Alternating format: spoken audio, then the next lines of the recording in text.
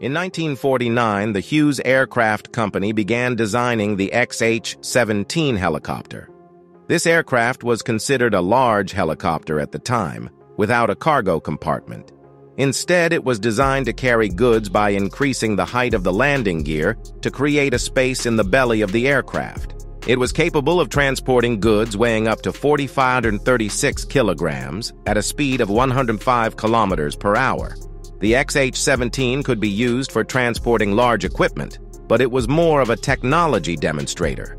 The aircraft itself was bulky, had a short range, and a short lifespan for its propellers. In 1952, Hughes signed a contract with the military to develop a large military transport helicopter under the code name XH-28.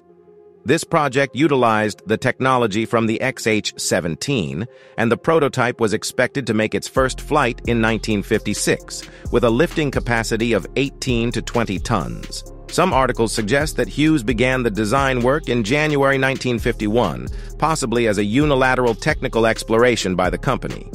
The XH-28 inherited the overall structure of the XH-17, with a relatively slender and elongated fuselage.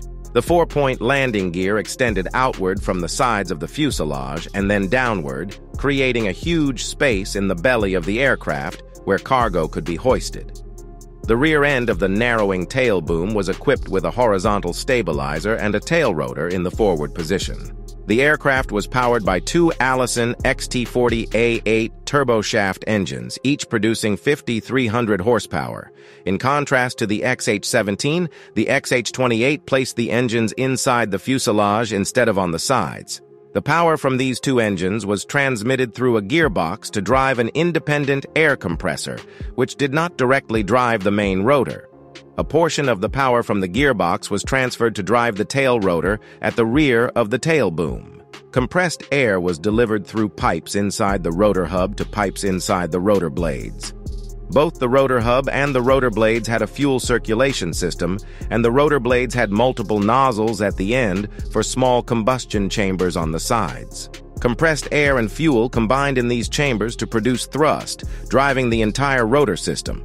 Due to the poor rotor design of the XH-17, the designers made significant modifications to the rotor structure of the XH-28. The rotor now had four blades, with some parts made of high-strength titanium alloy, and the blades themselves were longer to better withstand loads and vibrations.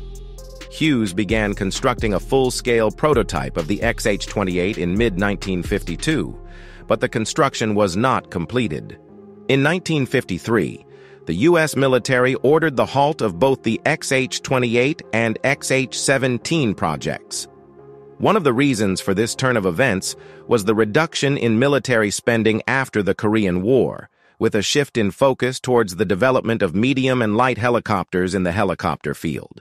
Although the XH-28 heavy transport helicopter did not develop into a specific production model, many people still feel regretful about it.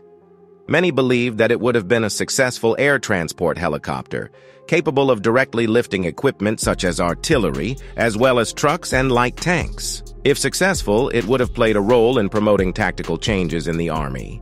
However, the XH-28 itself also used some relatively uncommon technologies, such as its unique rotor drive system.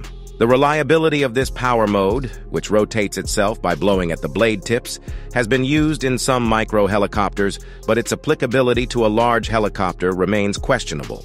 The XH-28 helicopter was estimated to have an empty weight of 23.6 tons, a maximum takeoff weight of 47.6 tons, a maximum payload of approximately 22.7 tons, a maximum cruising speed of 140 to 150 kilometers per hour, and a maximum range of 150 to 170 kilometers.